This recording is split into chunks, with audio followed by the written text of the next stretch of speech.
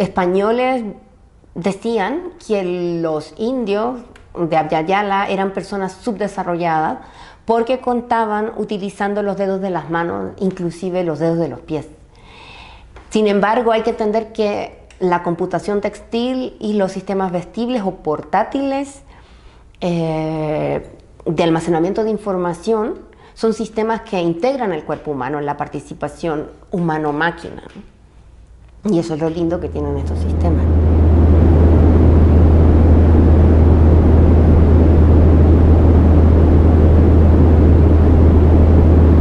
Según el libro de Gary Hurton, él describe que hay siete niveles de información binaria en el quipu.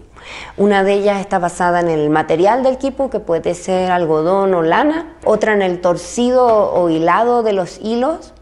Eh, otra es la direccionalidad del nudo, si está hecho hacia la izquierda o hacia la derecha. Entonces, eso, eso lo describe como piedra blanca y piedra negra, que vendría a ser uno o cero. Los quipus son sistemas de registro de información que utilizaban los en, el imperio inca o las culturas andinas precolombinas. Se dice que los quipus eran sistemas mnemotécnicos o libros que no están escritos en papel. El quipu es un sistema más complejo que un simple almacenador de información, sino que serían los computadores que usaban nuestros antepasados en Latinoamérica. Me interesó mucho la relación de los quipus con el código binario que usamos actualmente en la computación. Yo, como soy artista electrónica, me dedico a estudiar el código binario. Por lo tanto, me pareció muy interesante saber que nuestros antepasados utilizaban también un sistema binario para clasificar información. En el año 2017 yo realicé un laboratorio en la Ciudad de México con un grupo de cinco mujeres con la idea de estudiar los signos del quipu inca y aprender código utilizando la lana como material. Entonces, en ese laboratorio eh, fue que nosotras manufacturamos un quipu. Para nosotros el, el, pie inicial fue que en una de las lecturas encontramos que decía que para poder entender un quipu había que hacer un quipu. Entonces es esa idea la que nos, motivó a nosotras a realizar nuestro propio kipu, porque el kipu tiene un factor manual y temporal, entonces si uno no tiene la experiencia del kipu kamayuk, de realizar el kipu y impregnar ahí los datos de tu experiencia y tu temporalidad con el kipu, entonces es muy difícil poder entender cómo, eh, qué es esta tecnología. Nosotras durante el laboratorio tomamos referencias eh, feministas, entonces dentro de ellas tenemos al grupo de las computadoras de Harvard, que es un grupo de mujeres que se dedicó a clasificar información de estrellas, de constelaciones y de las atmósferas estelares. Ellas fueron las que diseñaron el sistema que en Harvard se utiliza actualmente y fue ese sistema el que nosotras utilizamos para hacer nuestro equipo. Entonces me interesa mucho esa referencia porque en el tiempo en que Harvard no habían computadores, fueron ellas las computadoras. Eran ellas las que hacían el trabajo de, computar y, mm, es ahí me gusta esa referencia porque es es su cuerpo, son ellas como humanos las que son las máquinas. También tenemos como referencia a las Little Old Ladies Memories, que son las memorias LOL que les llamaban, que son un grupo de mujeres, mayormente abuelitas, que se dedicaron a, tejer las memorias ROM para la, la misión Apolo. Me interesa mucho esta idea de la computación manual y textil y la relación de, la, de los hilos y los textiles con la computación actual, ya que los primeros computadores que, que existieron se basaron en una máquina de telar y la primera persona en hacer código fue una mujer, Ada Lovelace. Mi interés por los quipus surgió cuando yo encontré un libro que escribió Gary Hurton que se llama Signos del quipu inca, código binario eh, yo inicié esta investigación en el año 2013 y en ese momento no había mucha información acerca de los quipus, Para mí lo más interesante era saber que en el imperio inca o anterior a eso ya utilizaban un sistema binario para codificar información. Otra idea en la cual nosotros nos basamos cuando hicimos este laboratorio fue en la idea de la ciencia ficción andina, que es un concepto que lo tomamos de un investigador de los quipus de Ecuador que se llama José Luis Jacome, que mm, se basa en pensar ¿Qué hubiera pasado si los colonizadores no hubieran llegado a Latinoamérica y nuestras tecnologías ancestrales todavía siguieran existiendo? ¿Cómo serían? Eh, ¿Qué función tendrían en nuestra sociedad actual? En este libro mm, de Silvia Rivera Cusicanqui, que es historiadora y socióloga boliviana, se llama Sociología de la Imagen, aquí aparece una imagen bien linda que es del astrólogo poeta que tiene un quipu en su mano. Y mm, este libro me lo regaló la artista Patricia Cadavid, que es colombiana, y que ella también hace un estudio sobre los quipus.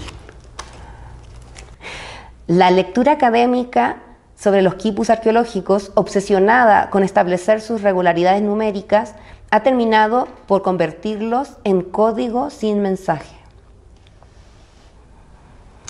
Esa frase me gusta porque eso es lo que pasa actualmente con los quipus, que existe esa obsesión por interpretar qué es lo que dice los nudos, con, con, poder descifrar su código. Sin embargo, si nosotros estamos pensando en matemáticas o en conceptos griegos y no tomamos en cuenta la cosmovisión andina, nos va a ser muy difícil entender realmente lo que los quipus nos quieren transmitir cómo nosotros hoy día, con la cultura occidental que tenemos encima, podríamos interpretar o traducir o transcribir un sistema que utilizaban nuestros antepasados sin agregar un valor cultural. Eh, acá podemos ver la información decimal que tiene el quipu, que tiene nudos desde el 1 al 9. El número 1 es un número en forma de 8 y el resto son números que tienen de 2 hasta 9 vueltas, incorporando el número 0. A los quipus se les llama también computadores ecológicos prehispánicos, ya que eran hechos a, partir de materiales locales que conseguían eh, dentro de una zona, por ejemplo, piedras o cerámicas o chaquiras. Entonces, estos materiales para la construcción de este tipo de computadores era hecha de una forma no dañina para la tierra, es decir, que no estaba hecha a base de extractivismo, por ejemplo. La característica de estos computadores es que son computadores hechos a manos. Las cuentas se hacen de forma manual y es el cerebro humano el que computa. Estos computadores son dispositivos en los cuales el cuerpo humano participa. La persona encargada de registrar información en los quipus se llama Kipu Kamayuk. Esta persona es la que conoce el código y la que hace los nudos y puede transmitir, contar historias. Eh, además, el Kipu Kamayuk de plasmar información que era necesaria para el imperio, también plasmaba su vivencia en relación a la sociedad y al momento histórico en que el Kipu se estaba realizando. Entonces, es por esto que el Kipu tiene una característica manual y temporal. Lo interesante que tienen los Kipus es que es un sistema en el cual se anuda información y el Kipu Kamayuk em, lo puede transferir a los chasquis, que son las personas que trasladan la información de un lugar al otro en el imperio. Por lo tanto, los quipus son computadores portátiles. El quipu que nosotros realizamos fue un quipu astronómico. Esos quipus son interesantes porque son los oráculos del tiempo.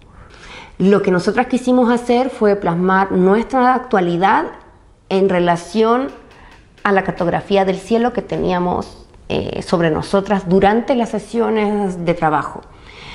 La constelación que teníamos en el medio cielo se llamaba la constelación El Boyero y mm, la placa del circuito impreso que nosotros utilizamos está basada en esa constelación.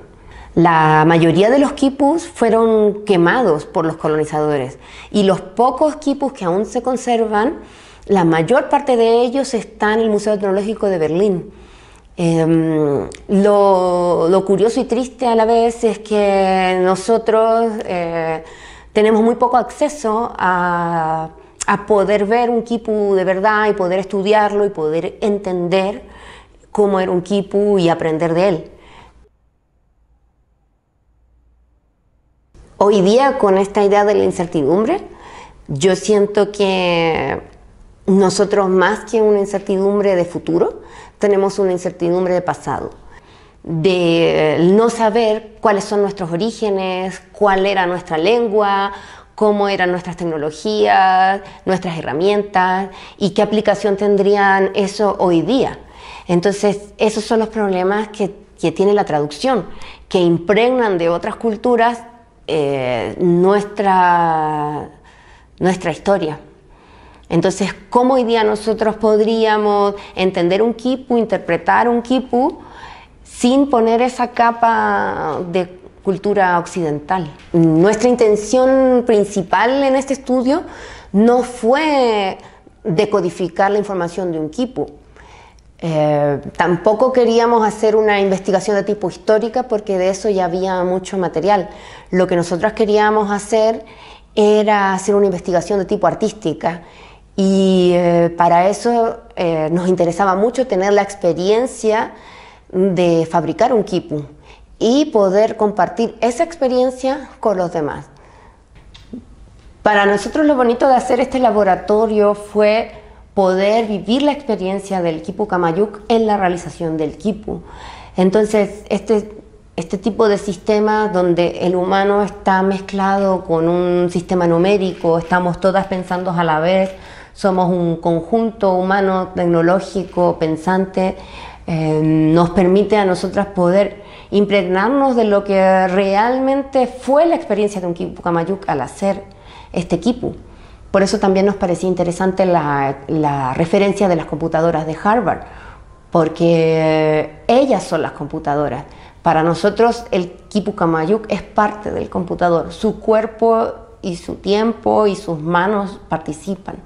Cuando nosotras hicimos el kipu, mezclamos la lana de alpaca con el hilo de cobre para hacer de las cuerdas del kipu una antena.